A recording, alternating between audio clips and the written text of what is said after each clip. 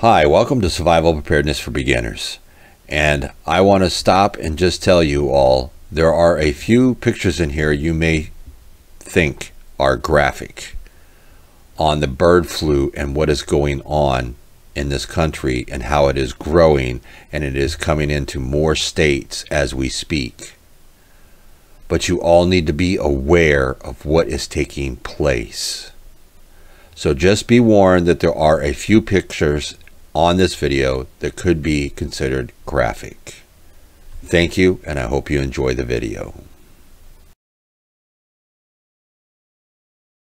Welcome back to Survival Preparedness for Beginners. And it's Sunday. It's time for more food prices and food shortages and everything else that's going on between the war and the bird flu. We're covering all that today. The pictures and stuff to keep rolling in. The shortages are still there. It's a never ending battle, folks. It just seems like the cases are empty. It seems like they just can't get enough product in the stores. Now, yes, this is not all over the country. Some stores are fully stocked. And in other parts of the country, other stores are not. There's a lot of different stores that are closing. They don't have the products on the shelf, and if they do, they've shrunk them way down so that the shelves will look full, but they don't have the availability and the stockpile like we used to have.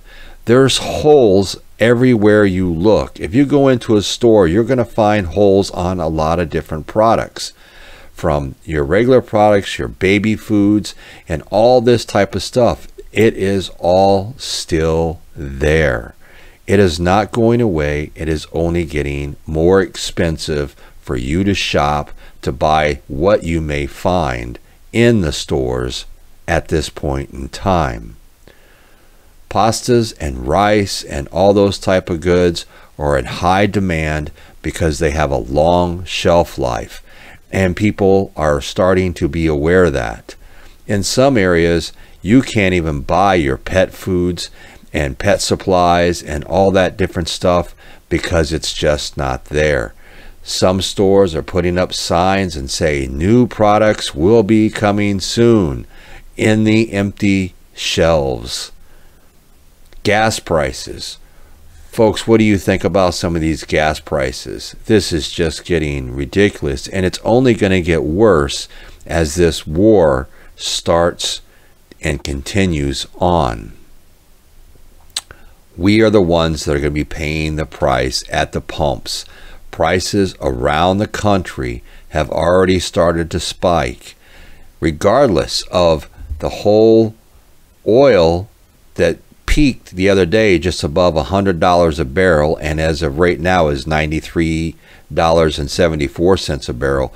But all these companies and everything else have already increased their prices ungodly amount of money for gasoline in certain parts of this country.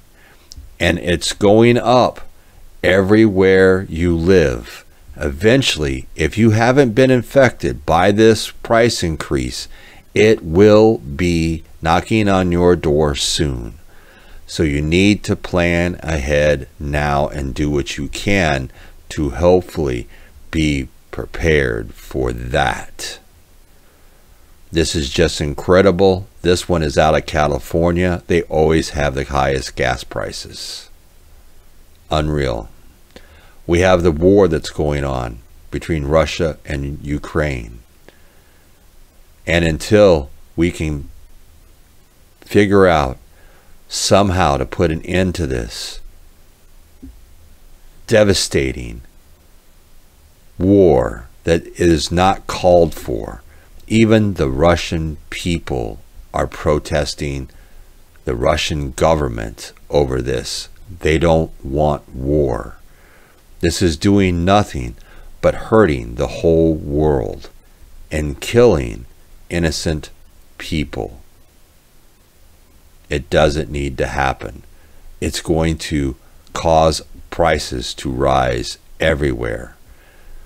Everybody in Ukraine is taking up arms and fighting for their country, and may God be with all of them. My thoughts and prayers go out to them. The next few images could be disturbing. So, if you want, click away now. But you need to understand what's going on. The bird flu is spreading. This is a turkey farm, and they have harvested these turkeys early before the bird flu got to them. Now, what's really going on is it's spreading across the country. In Delaware, they have found it was infected into a large flock of chickens there. 2.1 million chickens have been killed so far in just the United States. Just the United States, folks. This is a tragedy. This is going to hurt the population and what is in the stores. You all need to plan now and be prepared to pay more at the stores. Thank you for joining me on this video today. Y'all stay safe. Keep prepping.